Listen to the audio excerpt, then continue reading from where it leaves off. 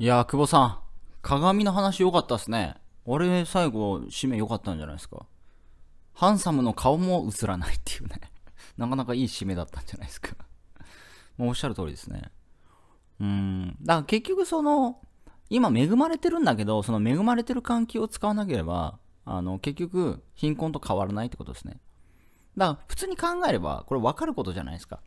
世の中全体を360度地球を見たときに、日本って100%恵まれてる国だと僕は思います。どうですかね？生まれた瞬間、鉄砲持って、お前戦ってこいって言われる国ですか？ここは。でもそんな国があるんですよ。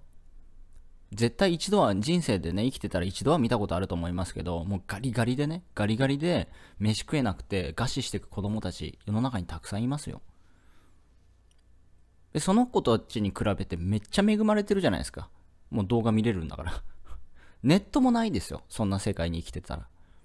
だけど、結局、使わなければ 何のチャンスも得られないし、この恵まれた日本に生まれてたとしても、貧困を味わうだけ。みんな平等にチャンスはあります。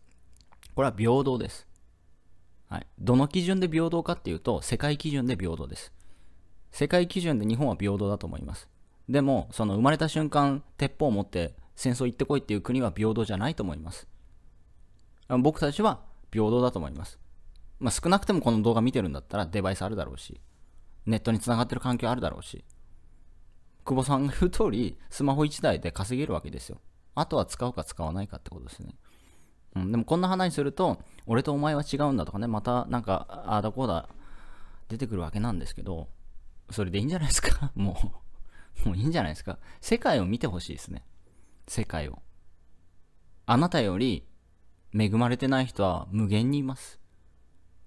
あなたはその子ができないことができるはずです。今。今日から。いってらっしゃい。